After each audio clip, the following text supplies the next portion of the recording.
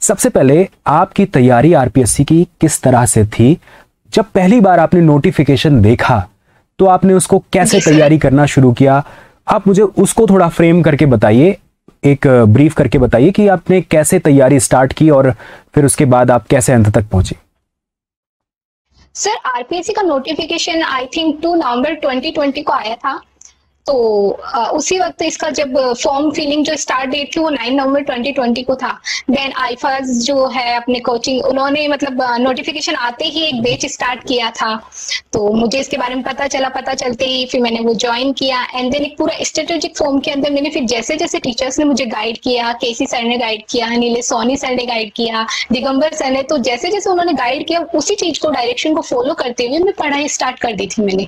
और number of source के ऊपर फोकस ना करके क्वालिटी ऑफ़ सोर्स के ऊपर फोकस किया मैंने, ताकि हम इधर उधर हर डायरेक्शन में ना भाग करके, एक ही डायरेक्शन में एक ही सोर्स को पकड़ के हम उसमें अपना जितना भी बेस्ट दे सकते हैं, वो बेस्ट दे, उससे टाइम की भी बचत होगी, साथ में अपना रिविजन प्रोसेस को भी कंटिन्यू रखा जा सकेगा।